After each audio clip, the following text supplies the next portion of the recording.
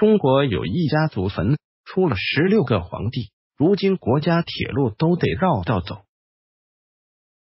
大家好，今天和大家聊一下祖坟。在中国，对于祖坟是非常重视的。很多人认为，如果祖坟好的话，对于子孙后代也会有好的影响，也就是所谓的风水宝地。有一个最牛祖坟后世出了十六个皇帝，如今修高铁都要绕道，这就是朱元璋的朱家祖坟。在中国的历代帝王陵墓中，秦汉之前的古墓都是坐西朝东的。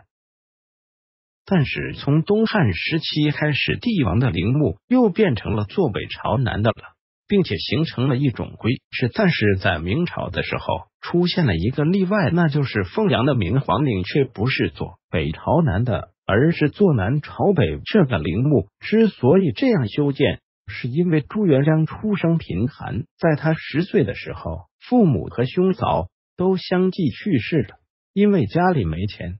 所以就只能草草安葬，并且下葬的时候也没有棺椁。关于朱元璋父母下葬，民间还有一个传说：当时凤阳发生了瘟疫，朱元璋的父母也死了，但是没有棺材下葬，于是就用草席裹着下葬。当时抬到了一个山坡上，下起了大雨，他们就放下草席去躲雨。可是雨停之后，山突然塌下来了。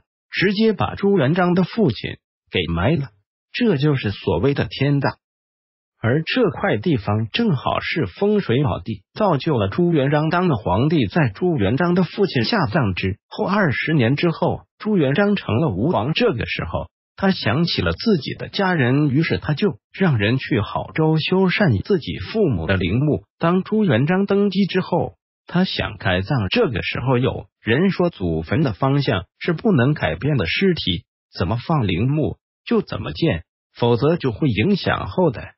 因此，朱元璋就在祖坟的基础上添加了封土，占地两万多亩，整个陵墓看上去非常的壮观。其实，在中国历朝历代的帝王都自称是真龙天子，在祖坟的选择上都会有所谓的龙脉之说。朱元璋能够从穷和尚当上皇帝，他的祖坟自然就成了风水宝地。讲到这里，据说在修建京沪高铁的时候，为了避让明皇陵